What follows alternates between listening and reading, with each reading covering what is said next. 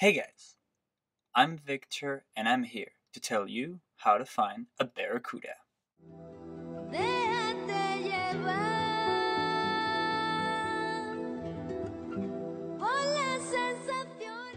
Barracudas are easily recognizable for their elongated bodies and powerful jaws, with fang-like teeth giving them an intimidating look. They can be found in tropical and subtropical areas worldwide, being common predators of coral reefs. Due to their large size, they are typically found in the water column, where they can ambush their prey. However, some larger species, like the great barracuda, can sometimes be found in shallow reefs and mangroves. Juvenile barracudas generally congregate in large schools, where their greater numbers provide protection against predators. Adults, on the other hand, are mostly solitary and defend their territory ferociously against competing predators like moray eels, groupers, and even dolphins. Their large eyes are used to locate their prey, while their torpedo-shaped bodies and powerful tails allow them to perform short bursts of speed to surprise their target. Their teeth are so sharp they can literally cut a small fish in half. Imagine shooting an underwater arrow, with scissors instead of an arrowhead. That's pretty much what a barracuda is. Despite their fearsome looking jaws, barracudas aren't aggressive towards humans, and prey almost entirely on fish and invertebrates. However, a few precautions should still be taken when swimming with these marine predators.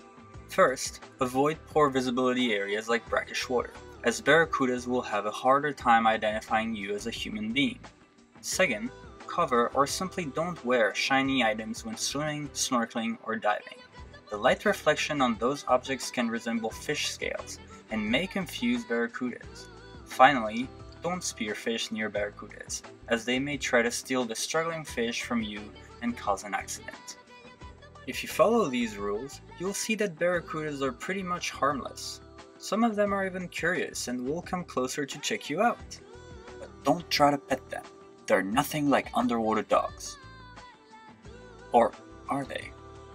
When gorged, barracudas may try to herd schools of small fish into the shallows, where they become trapped between the predator and the shore.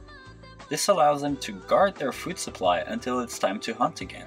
This resource guarding behavior can also be seen in domestic dogs. Speaking of food, barracuda is sometimes found in fish markets, but eating it isn't necessarily a good idea.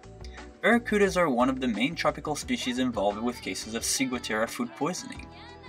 Ciguatera is caused by a toxin produced by microalgae that inhabits tropical and subtropical regions, and that is consumed by small grazers. The toxin is then accumulated by larger fish like barracudas as they feed on those smaller animals, making their meat more concentrated with the toxin.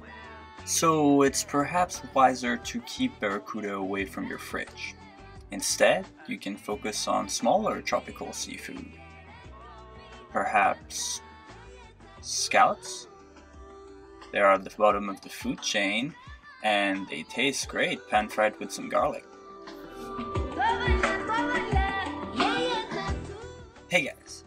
Thank you so much for watching the video. I really hope you enjoyed it.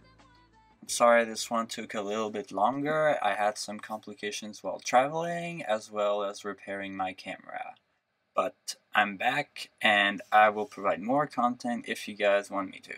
So be sure to leave thumbs up or down and subscribe. See ya!